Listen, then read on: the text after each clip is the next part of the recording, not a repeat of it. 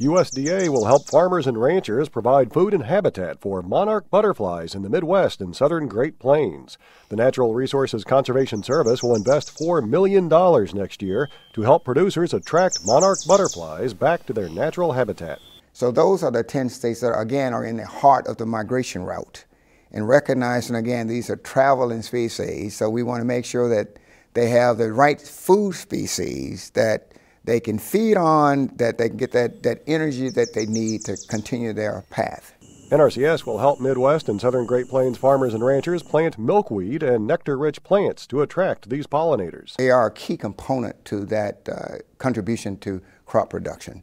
And so we feel that we need to induce the right plants and the right species to enhance the, the return of the increase of the monarch and, and stop the decline. In addition to attracting monarch butterflies, Jordan says it's hoped other pollinators will be attracted by the planting efforts. Along with the benefits of monarch, they also provide benefits to you know honeybees and other native bees that contribute significantly to the pollination process. Monarch populations have decreased significantly over the past two decades, in part because of the decrease in native plants like milkweed, which is the sole source of food for monarch caterpillars.